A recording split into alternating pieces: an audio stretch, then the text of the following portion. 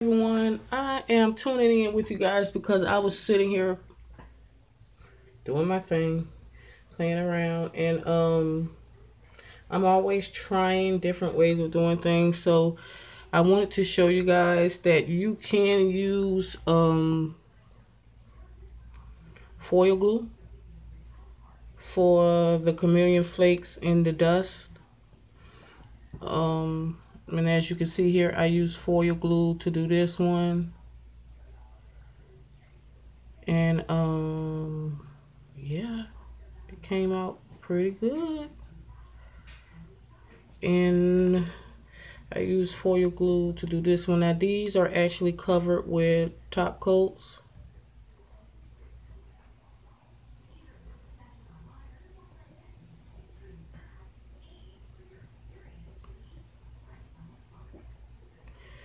And these are not covered yet. I just patted the um, flakes on and I haven't top coated those yet.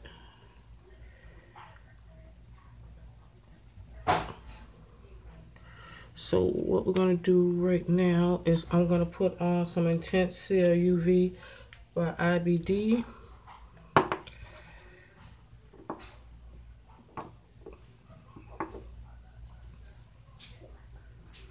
Hope you guys are having a good day today.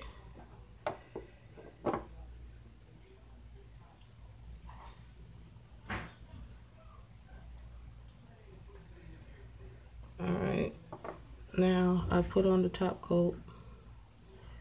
So I'm going to clean up the sides before curing. If you notice, I don't use any tools, guys. I'm pretty much a finger person.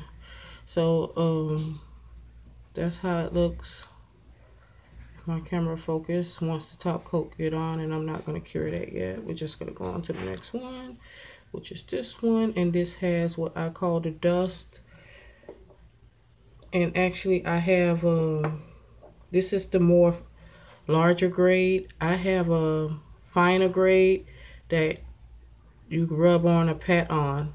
You could do both with those. And it's much finer grade and of course way more expensive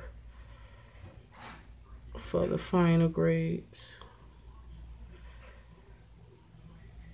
But they all are super beautiful and very easy to work with.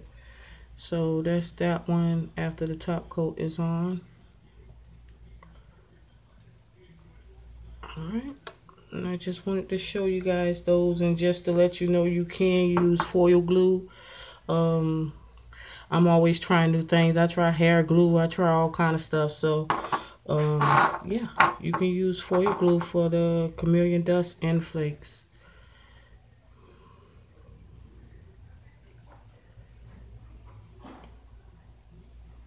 Just to show you guys again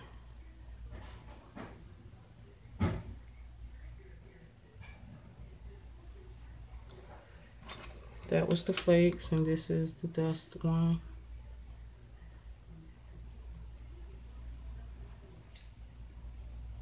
And that's it. Just wanted to share, guys. And I hope you guys have a blessed day today. And bye.